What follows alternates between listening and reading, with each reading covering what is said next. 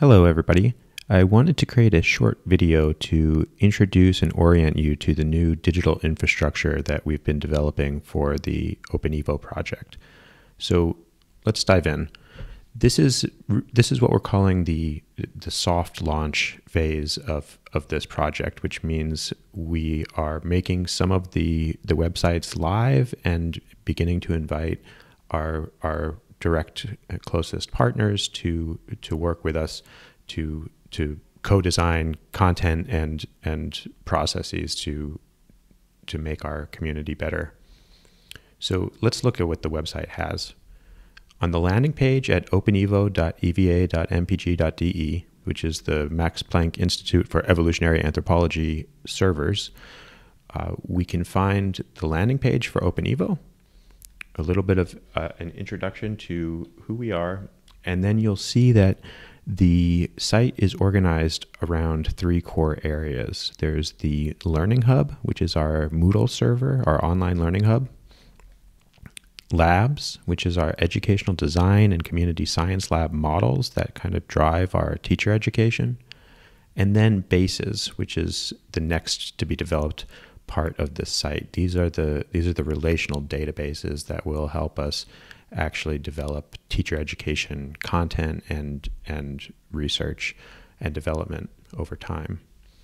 So as I said, the databases will actually not be here until about August or uh, or so. Around the end of August, we anticipate that we can make these databases live. So we're migrating data and getting uh, getting the user interface working. Uh, but this will be a set of relational databases that include uh, teaching materials, student conceptions, syllabus, uh, different ways to to develop and advance educational design research in teaching evolution as an interdisciplinary science. Our labs are the two models that we use to drive innovation in teacher education. These are the landing pages, which are kind of more the more attractive short summary of what each lab model is about. Uh, and then you'll find more information within the actual modules in the Learning Hub. And the Learning Hub is really the centerpiece of what we're doing here. So uh, the Learning Hub is actually its own server. It's a it's a Moodle uh, instance, which you might know from your local university. And if we go here, you'll see that uh, the homepage links you back to the Research Hub uh, or the opportunity to, to see a course directory. You can also browse some of the courses here that we're currently featuring.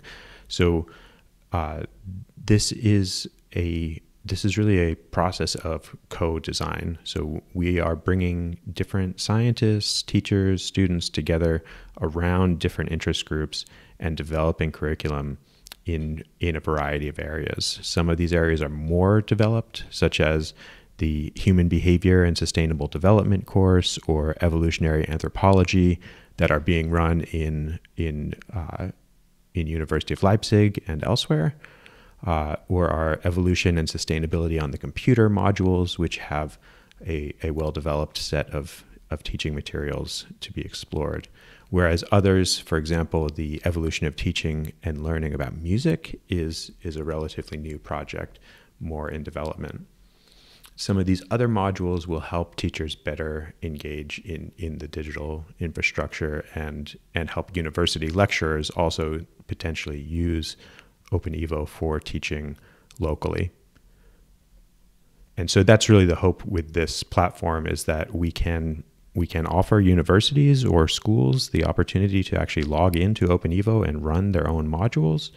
Uh, but we can also use the this Moodle as a sort of innovation lab or co-design space for developing new teaching materials, which could be run independently of this Moodle system, or they could be exported and run on any Moodle system within any university or school around the world. When you receive your account, you'll be able to see courses like this, and you can uh, only view some. So, for example, uh, for the evolution on the computer, we're allowing people to see the overall syllabus, but not yet access the activities. And we'll be opening these things up uh, more and more as we get everything migrated and, and settled in. So when you first get your account as an OpenEvo Circle member, you'll be enrolled in two modules. Let me show you where they are in the ecosystem. Here we're in the course directory, where you can see all of the courses structured within the OpenEvo ecosystem. You'll be enrolled in two modules within the OpenEvo platform. That's the Teaching on OpenEvo and the OpenEvo Commons, which describes uh, the activities of different circles and uh, different activities that network members are involved in in within this within this ecosystem. In the future, you can we will open up the opportunity to to uh, connect into other modules, uh, but also help create or or create your own within this system. Um, so we have our OpenEvo platform modules, which is the basic operations of, of the of the platform. Then we have our subject area core modules, which are most in development. These will be core modules for each of, of uh, the normal school subject area disciplines, looking at how these disciplines may, uh, may variously relate to concepts in evolution science. Then we've got the featured modules. And so these are these uh, big project areas that we are working with various partners to, to bring together resources, content, and, and uh, potentially full module syllabi for teacher education in each of these areas. And again, some are, are, are developed to the, to the point of uh, uh, being shareable or being able to develop collaborations on, and others are more construction sites for developing innovative new lessons. Then finally, there's field site modules, which are geographically structured. And so we can, if you want to begin teaching or developing uh, field site projects within this ecosystem, just talk to us and we can begin to create your country or region. And this is where, where local courses can be, can be run. And then hidden from view is the co-design sandbox, which is where new courses begin. Lastly, I'd like to bring your attention to the profile, the user profile that you now have on OpenEvo on the Learning Hub. So if you click up here, you'll see your name and you can see that you have a dashboard. You can view pro profile, but you can also edit your profile. And so I encourage you to please feel free to make yourself at home, have a description, add your picture so you can be recognized. And then especially I just want to highlight down here with OpenEvo Circle membership. So previously we've managed membership by uh, through forms that you, you couldn't really update, but now you can just uh, control your own membership within uh, within these. And so uh, we hope that that will streamline communication and allow you to get the kind of communications that that you're most interested in from this network. So that's all for now. We just wanted to give you a brief introduction to the to the new platform.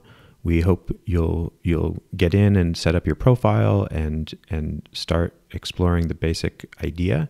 If you have ideas or interests for developing particular courses or modules or concepts or research within this, please feel free to get in touch. And until then, we look forward to developing this platform with you.